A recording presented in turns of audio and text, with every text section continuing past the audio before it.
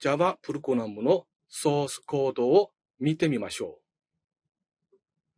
このソースコードは例の Hello World.java です。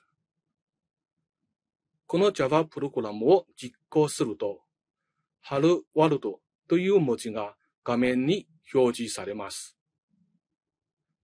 Java プログラムは半角英数と記号を使って記述するものですので、ソースコードの命令文の中に全角文字が含まれるとコンパイルエラーとなります。また、Java プログラミングは高級言語ですので、人が読んで理解できるテキスト形式になっています。続いて、Java プログラム実行までの流れを説明します。わかりやすく説明するため、本講義では拡張子 .java を持つファイルを Java プログラムのソースファイルと呼びます。拡張子 .class を持つファイルを Java クラスファイルと呼びます。この図に示すように、まず Java 開発キットを利用して作成した Java プログラムコード、あるいはソースファイルをコンパイルします。そうすると、バイトコード形式の Java クラスファイルが作成されます。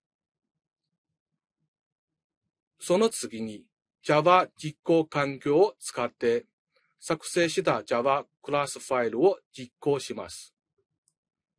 ここまでで Java プログラムの作成、コンパイルと実行という一年の操作が完了しました。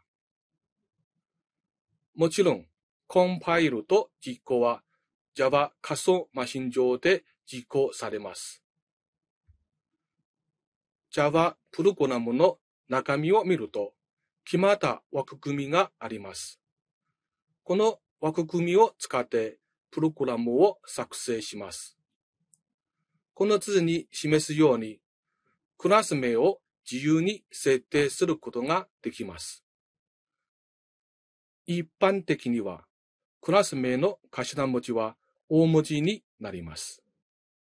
命令文は波括弧、あるいは中括弧の中に記述されます。また、命令文にはセミコロンで終わる必要があります。ユリクス入門を入手したことがある場合は、シェルスクリプトに空白や開業を勝手に入れるとエラーになってしまいますが、Java プログラムの場合は、好きなところに空白と開業を入れることができます。ただし、同じところもあります。Java プログラムでは、大文字と小文字が区別されます。注意点としては、すべての格好は必ず1対1対応を持っていることです。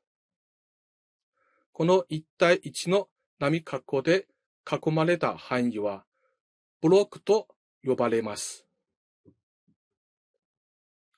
また、プログラムコードを見やすくするために、先頭に空白を入れることがよくあります。